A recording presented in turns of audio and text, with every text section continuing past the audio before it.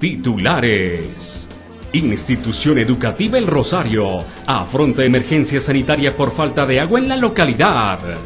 Decreto 026 de la Alcaldía de Pasto establece emergencia ambiental en la ciudad por daño en estructura de piscina de lixiviados en relleno sanitario Antanas. Autoridades de Salud y Ambiente de Pasto rechazan información de Facebook sobre amenaza de matar a más de 100 caninos. Consternación en Tumaco por muerte de niña en un acto de intolerancia de hombre de 35 años. Educación gratis para niños que no ingresan a colegios por dificultades económicas. Informativo Municipal con Erika Mera, Janet Bastidas y Olmedo Bolaños Jr. La Alcaldía de Pasto les da la bienvenida al informativo municipal.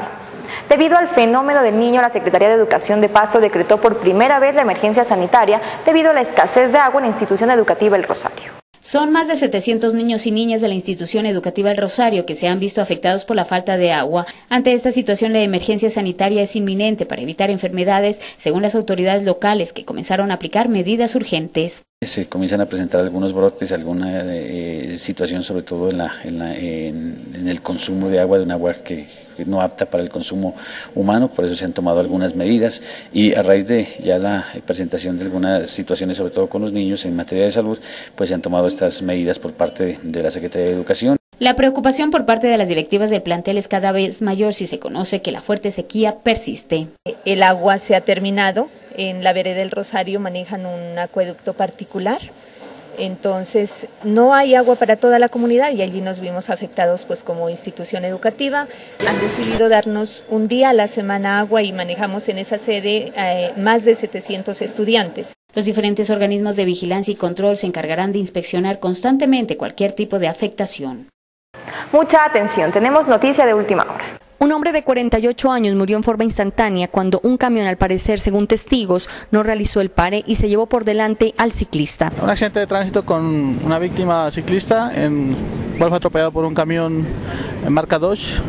Al parecer se tropieza en la parte de atrás de la llanta y ocasiona la muerte del ciclista. Como José Víctor Mayarín fue identificada la víctima. El señor del camión no lo miró al de la bicicleta. A ese instante pues él llegó y salió el del camión sin sin ninguna precaución de mirar a dónde estaba el, el tipo, sino que lo silbaban todo eso de ver al señor que estaba atropellado ahí. ¿Lo cogió con las llantas de atrás? ¿Cómo fue? No, no, si lo hubieras cogido con las llantas de atrás lo reventaba, fue el golpe que lo tiró hacia un lado y él cayó de una sola hacia atrás. Pues ahí el que tenía la vía era el de la bicicleta. El del camión llegó y se le metió. El camión fue muy imprudente el señor. El llamado es para los conductores que antes de acelerar o pitar piensen primero en frenar, porque la víctima de otro accidente como estos puede ser un familiar de usted. Un caso insólito se presentó en Pasto por cuenta de infracciones de tránsito. Un joven de 26 años aparece en la base de datos del CIMIT con 10 comparendos. Lo curioso es que en el año 1997 era menor de edad y nunca estuvo en Bogotá. Por estos días, una infracción de tránsito trasnocha a Alexander Maya Martínez, estudiante de locución y periodismo. Al verificar el saldo a pagar por un comparendo, se llevó una desagradable sorpresa. Y cuando estaba averiguando eso en el CIMIT me encontré con que tenía infracciones desde el año 97, cuando yo en el 97 no tenía ni cédula. Entonces me puse a averiguar y todo tenía como 10 comparendos que eran de la ciudad de Bogotá que aparecían a mi nombre y con el número de cédula mía. A su nombre figura no solo un comparendo, sino 10, la mayoría impartidos en la capital de la República. Primero que todo, nunca he estado en Bogotá y me, parecieron comparendos porque eh, había manejado un camión con gente atrás por dejarlo mal parqueado, pero eran así de camión y camioneta. ¿Usted nunca ha tenido ese tipo de.? No, nada. Nada, ni, ni, camión ni camioneta, solamente tengo mi moto. Y... Conocido el caso, la Dirección de Tránsito Municipal lo calificó como atípico. Es un caso atípico y por eso tendríamos que investigarlo bien, qué fue lo que pasó. Puede ser que haya un problema en cruce de bases de datos. Nosotros a veces cruzamos de base, eh, base de datos por ahora, el afectado tendrá que dirigir un derecho de petición a la Secretaría de Tránsito de Bogotá para arreglar su situación. La deuda por comparendos asciende a 2 millones de pesos. Mediante el decreto 026 del 29 de enero del presente año, la Administración local declaró emergencia ambiental para Pasto debido a fallas que se presentan en estructuras y asentamientos en una de las piscinas del lixiviados del relleno sanitario Antanas.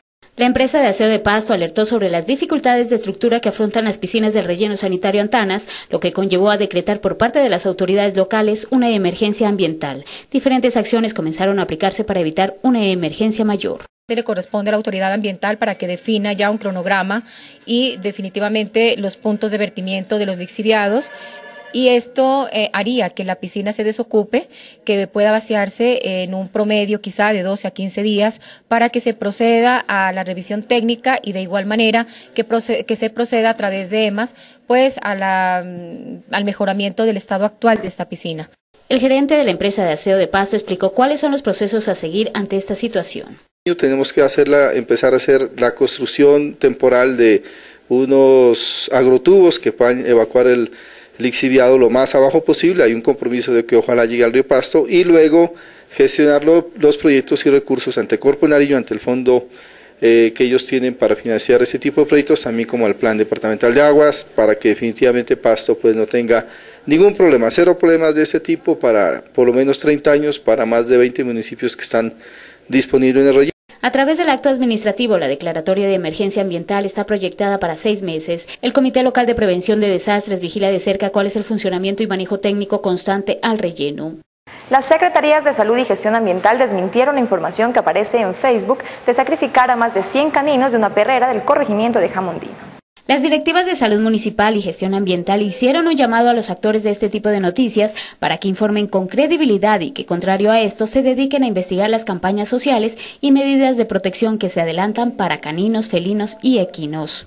Hacemos un llamado a que ojalá quienes hacen parte de este proceso de desinformación rectifiquen y que nosotros como Administración Municipal y sobre todo como Secretaría de Gestión Ambiental y como parte del comité que trabaja con salud, pues estamos dispuestos a participar de las reuniones y de aclarar definitivamente ante las instancias que sea necesario sobre los procesos y procedimientos técnicos que llevamos a cabo. Cada una de las entidades manifestó que tiene un proceso de inspección y vigilancia para el buen trato de los animales y esto se lleva a cabo en el coso municipal. Es muy importante que la comunidad conozca que ya el municipio de Pasto tiene unas instalaciones que reúnen todos los requisitos para poder, em, digamos, tener a los animalitos y eh, desde la Secretaría de Gestión Ambiental se hacen todas las campañas también apoyadas con salud para promover la adopción de los caninos o felinos que se eh, recogen y que se encuentran en buenas condiciones. El trabajo de salud y ambiente es verificar e inspeccionar que aquellos sitios que se encargan de la protección de los animales cumplan con las medidas sanitarias acordes para la buena tenencia. En una alianza con la Secretaría de Educación de Pasto, Bienestar Social adelanta campañas de ayudas educativas para los estudiantes que por motivos económicos aún no han podido ingresar a los colegios. Ya no hay excusas para que niños y niñas dejen de estudiar por dificultades económicas de sus padres. Con la entrega de kits escolares, el pago de la matrícula y dotación de uniformes, Bienestar Social busca que todos los niños gocen de su derecho a la educación. De los niños que a, partir de enero no estén matriculados, sea primaria y bachillerato, sea para el sector urbano o rural, que no se hayan matriculado, eh, que arrimen aquí a la Secretaría de Bienestar para facilitarles y hacer la gestión que la hemos hecho conjuntamente con la Secretaría de Educación. Uno, para que completamente gratis no se les cobre matrícula. Les damos un kit escolar para que el niño tenga la oportunidad de seguir estudiando y más o menos el uniforme o la sudadera del respectivo establecimiento. Son más de 700 ayudas previstas. La convocatoria está abierta en la dependencia. Hasta el momento se han acercado más de 200 beneficiarios. Una niña de 6 años fue decapitada por un hombre de 35 cuando le reclamó por matar a su mascota. Este hecho de intolerancia se registró en el puerto nariñense de Tumaco. Según testigos, varios niños se partían alegremente en un populoso sector del puerto nariñense de Tumaco.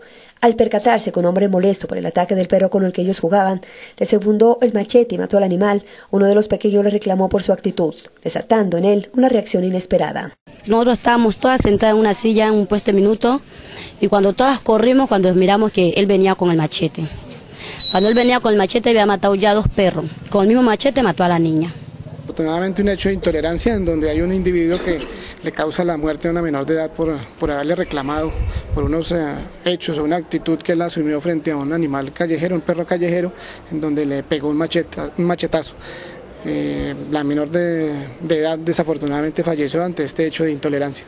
El nuevo hecho de intolerancia, que una vez más involucra a menores de edad, fue rechazado por las autoridades regionales. Nuevamente un caso en donde un menor de edad eh, pierde su vida tras la intolerancia de una persona que al parecer tiene trastornos mentales. Según el comandante de policía de Tumaco, el homicida ya fue detenido y pasó a orden de la autoridad competente. La menor de seis años será sepultada en el cementerio de la localidad.